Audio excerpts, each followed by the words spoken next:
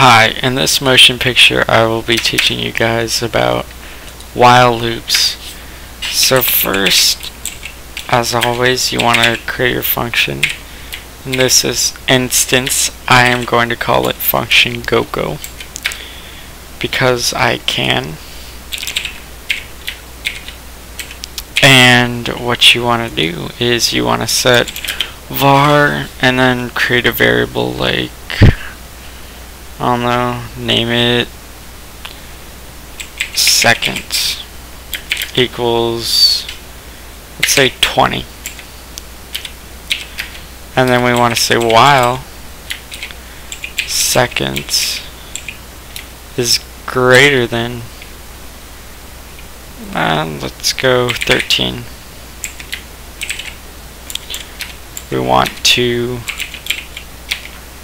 print line seconds and then seconds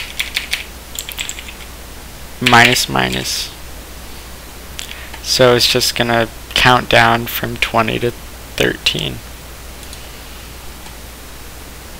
and it hits 14 obviously because seconds is has to be greater than 13 so if we did like 0 it would count all the way down to 1 20 to 1